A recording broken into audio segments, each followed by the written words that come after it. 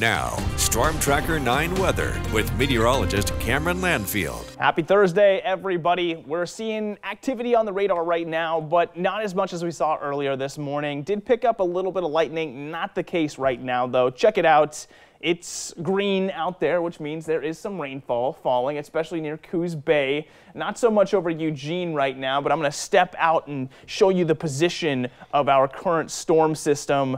There it is. You can see that rotation. That's going to continue to rotate and get a little bit closer for today, and that's going to continuously throw waves of energy into the Pacific Northwest, and that's where the showers come from for today. Yesterday, we were dealing with a lot of instability because of the little sun break, and that brought some warm air down into the surface. But for today, the most part, it's just going to be coming from some of the low pressure waves out there. Now, currently, it's looking like the sun is just starting to rise out over Florence. You can see the low cloud coverage being illuminated, and those low clouds are sticking around all day for today. So it's less unstable out there, but still a lot of instability. It is a lot colder this morning as well, seeing those mid to low 40s. That cold front yesterday certainly did its job. Looking at the stormcast now, 6.30 in the next 10 minutes does show a particularly strong cell of rain but potentially moving into Eugene there, which could be a thunderstorm, but it looks like most of the thunderstorm chances do drop off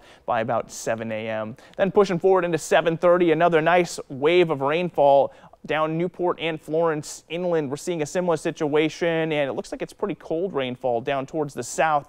There is more snowfall for today out over the mountains. And 930 does show a bit of a break for most areas, not Corvallis or Newport, but everyone else is going to be dry at that point before our next wave rolls on through here at 1030. Gets a little bit stronger at 1130 as well. And then just for the rest of the day, we have more of these strong cells that develop. So I wouldn't be surprised if we do see a little bit more rainfall than the models did anticipate. Also coming with that rainfall is more blustery winds for today. And you'll see they're a lot more sustained today too. So not as powerful, but they do stick around a little bit longer all the way through to about 6 o'clock before we start to see the winds dying down. Seven day forecast showing you 51 for today on the coast. Our rise starts tomorrow, 56 up to 60 for Tuesday. Sunshine Sunday through Wednesday. Umpqua Basin 52 for today, up to 59 tomorrow. Rain showers taper off in the afternoon. Then we get into the 60s, into the 70s Tuesday, 72 degrees. Cascade passes, snowfall